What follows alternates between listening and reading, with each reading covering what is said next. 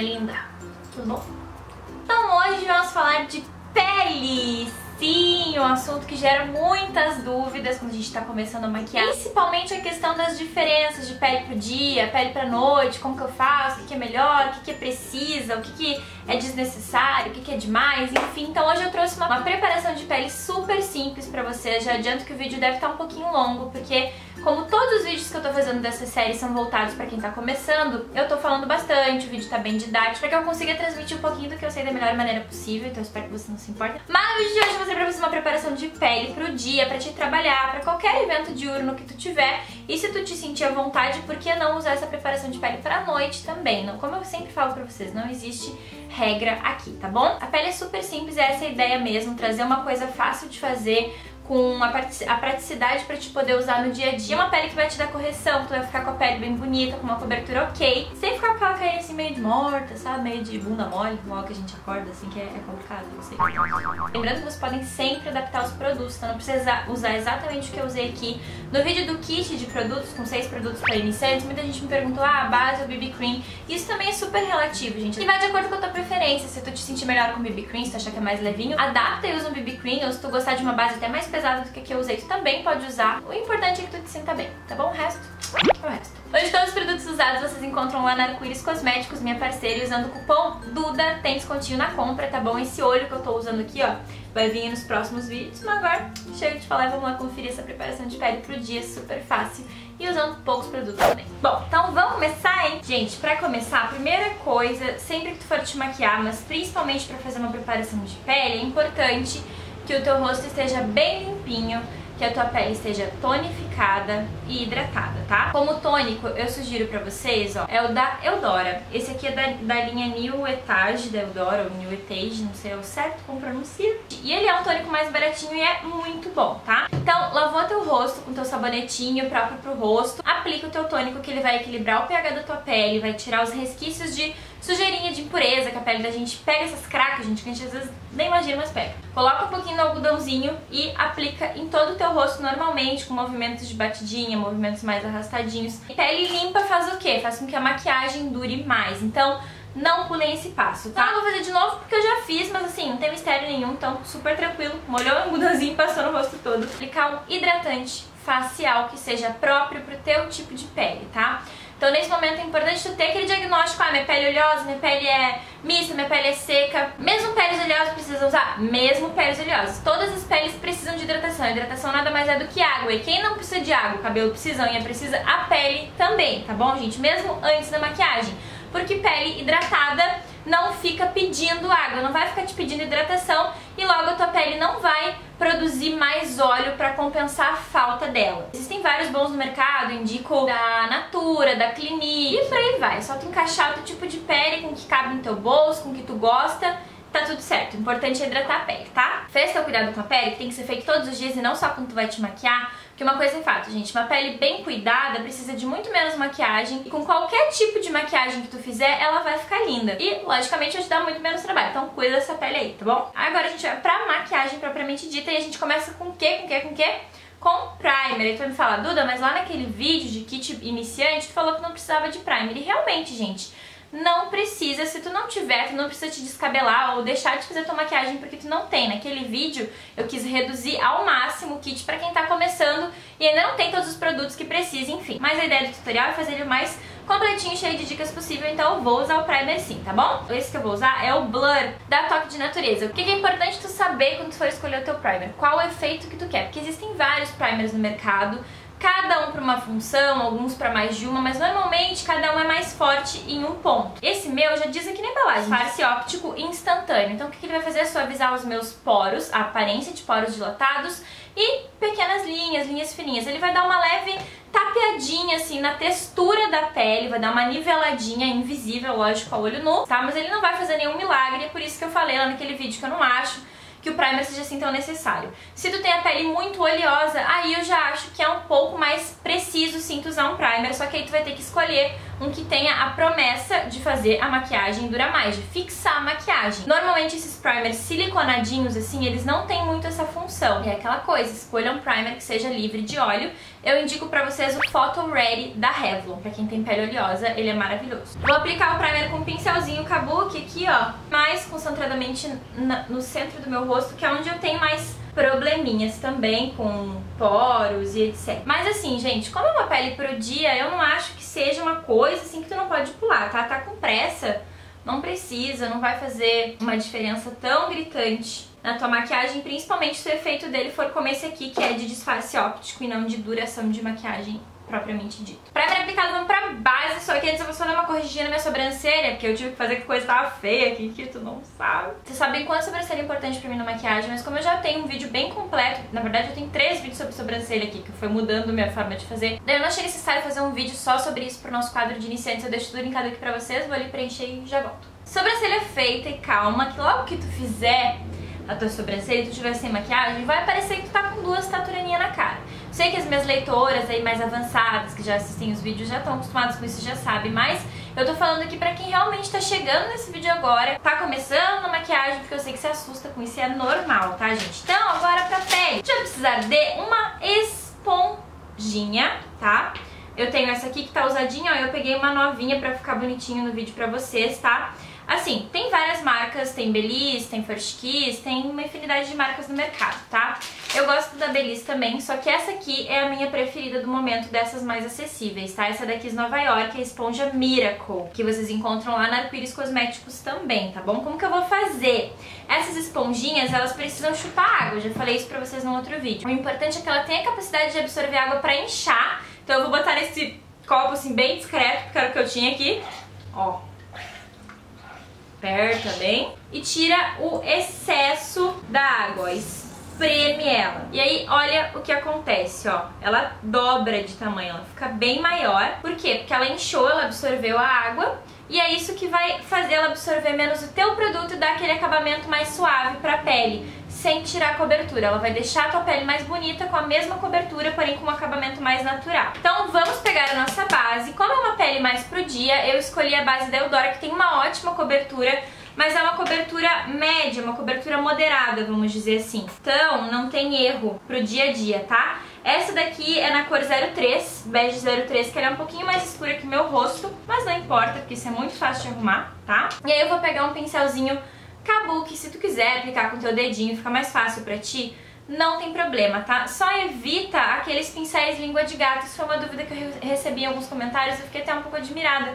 Mas é verdade, porque às vezes a gente tá tendo o nosso primeiro contato com a maquiagem, não sabe, é uma novidade pra gente. E algumas meninas falaram assim, como fazer pra aplicar a base sem deixar a marcação do pincel?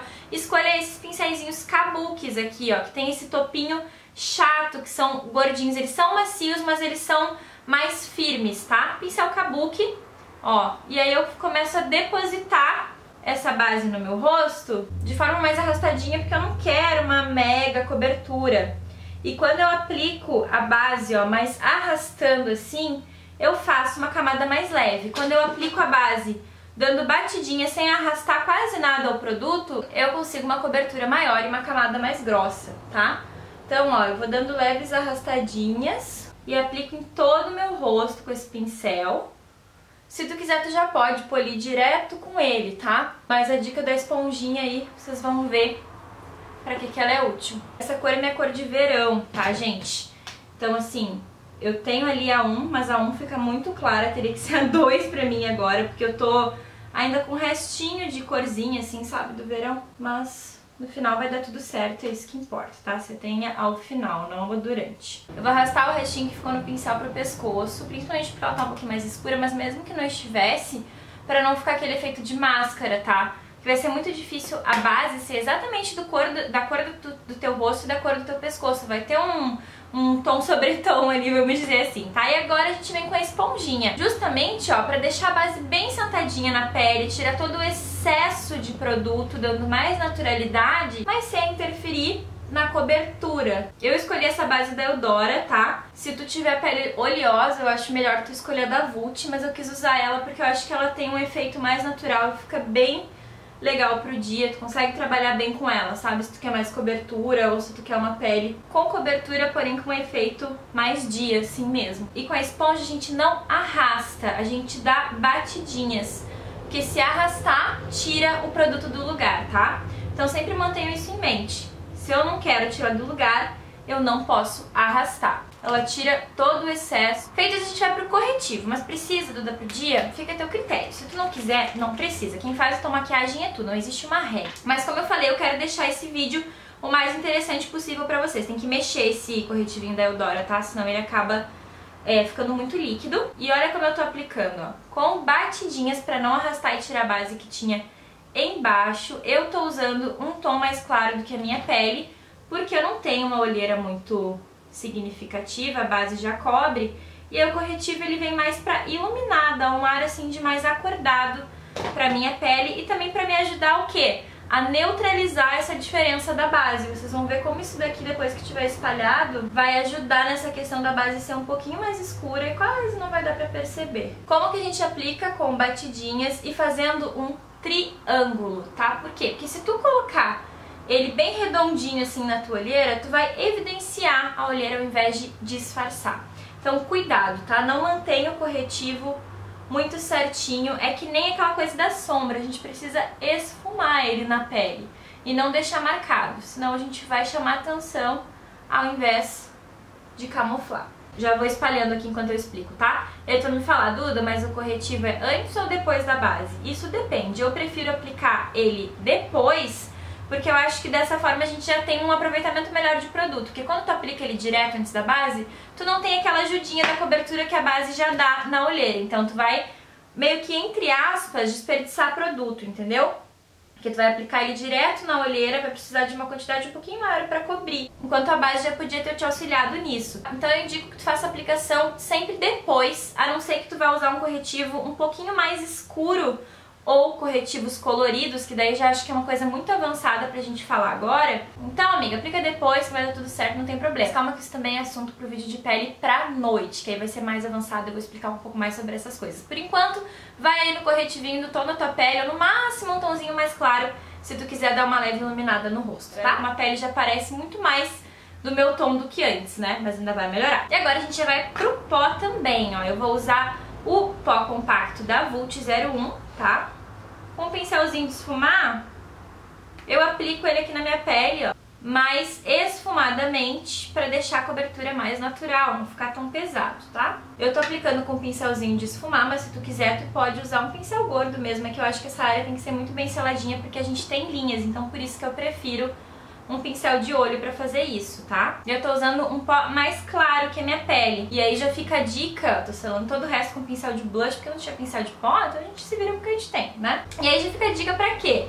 Pra quem tá com a base, um tomzinho diferente ali pra mais ou pra menos do que o seu tom de pele real. O que, que tu faz? Pega um pó mais claro, se a tua base for um pouquinho mais escura, porque ele vai ajudar a quebrar isso, ou pega um pó tomzinho mais escuro se a tua base for muito clara, tá? Então vocês sempre me perguntam como dar uma aproveitada na base e serrar o tom. Se tu errou de um, lá no máximo dois tomzinhos, essa diquinha do corretivo junto com a diquinha do pó já resolve super, tá? Ou claro, se a base tá um pouquinho mais clara, usa um pó um pouquinho mais escuro que também ajuda a resolver. Por que, que o pó é indispensável? Porque a base é líquida, né? Então, se tu não selar essa base com alguma coisa, ela vai ficar grudando em tudo. Então, nunca esqueçam do pó, tá? Ele é muito importante, vai também fazer com que a tua maquiagem dure mais, porque uma maquiagem selada não transfere tanto, não vai ficar grudando em tudo e vai ficar grudado na tua cara, quando ela tem que estar. Tá. Agora, a gente vai pro contorno ou bronzer, tá? Eu vou usar aquele que eu mostrei pra vocês no, no kitzinho de produtos. Eu tô tentando usar alguns deles aqui, mas não se preocupem que no decorrer dos vídeos eu vou acabar usando todos que eu mostrei lá, tá? E uma outra coisa, esse vídeo eu tô fazendo mais com produtos nacionais. Por uma questão óbvia, é o foco aqui do canal, eu sei que é mais acessível pra todo mundo, mas eu queria saber de vocês. Se no próximo vídeo de pele, que é maquiagem é, pele pra iniciante pra noite, vocês preferiam que eu mesclasse os produtos, ou que eu trouxesse só nacional, ou que eu trouxesse mais importado? Comenta aqui embaixo pra mim que eu quero saber, tá bom? E o que a gente vai fazer? Vamos usar esse produtinho como bronzer, porque durante o dia, principalmente se tu não tem prática, não precisa fazer contorno, tá? Pega um pincelzinho mais gordinho, estilo de blush mesmo, tá? Esse é da Love Beauty. Pega o teu contorninho, ó, dá um sorrisinho só pra te ver aonde que a gente tem um assim, ele se chama zigomático, bem abaixo da maçã da bochecha, que é esse gordinho que salta quando a gente sorri. É exatamente dali pra cima que tu vai aplicar esse produto como bronzer para dar uma profundidade no rosto. Ó. Bem de leve, né, para não ficar chinelada. Ó. E dessa forma, tu já dá uma afinadinha no rosto sem ter aquela mega responsabilidade do contorno, que é uma coisa mais específica e mais controlada aqui, que tu tem que ter mais precisão, e já fica com o rosto mais bronzeadinho, mais magrinho também, que a gente adora, né? Aí, ó, só com o restinho do produto eu subo aqui pras têmporas, pra não ficar sem nada, pra elas não ficarem peladas. E dá um contraste também, porque por mais que a gente não precise contornar, a gente precisa devolver as sombras do rosto que a base tira totalmente. Nosso rosto não é de uma cor só, a gente tem ali a profundidade dos ossos, do rosto, enfim, então é isso que basicamente o contorno faz e que nesse caso o bronzer aqui tá fazendo, que eu tô aplicando mais como bronzer, tá? E essa é só uma das formas que pode aplicar, é claro, tá? Se tu quiser salientar mais a bochechinha, ao invés de aprofundar mais essa região, é só tu aplicar aqui, ó, bem da pontinha da maçã pra cá, porque tu vai chamar a atenção aqui pro, pro gordinho e automaticamente vai ressaltar a bochechinha. Eu quero dar uma afinadinha, acho que a maioria de nós aqui também, né? Então por isso que eu prefiro aplicar assim um pouquinho mais lateralizado, mas fica a teu critério. O mesmo pincel eu vou pegar esse tom de iluminador aqui, que é levemente douradinho, tá? Desse mesmo quarteto. E eu vou aplicar por cima, tá? A gente não faz uma divisão. Por cima, com a mão bem levinha, vocês vão me ouvir falar muito nisso.